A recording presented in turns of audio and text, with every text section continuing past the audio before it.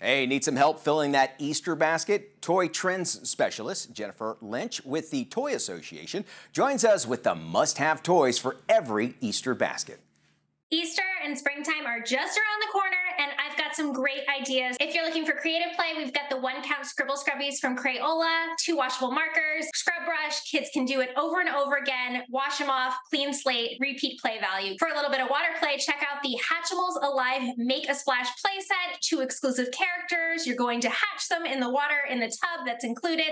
Really fun, and you've got these two exclusive characters, a little bit of collectability there. For the Thomas and Friends paint delivery set, we've got a motorized train that's going to go around the track. He's going to get stuck on the bridge. It's going to knock some paint cans over, really engaging kids in that imaginative play. For fans of Gabby's Dollhouse, there's a brand new season out. This is the, the perfect party bus. It's going to bring the setting to life. We've got a little disco stage. Gabby and DJ Catnip are ready to rock. If you're looking to get kids up and moving, check out the kid powered go kart from Razor. This is the Crazy Cart Shuffle, and it's super easy to use, five adjustments, so it's going to grow with your kid. You can head over to thegeniusofplay.org to learn more.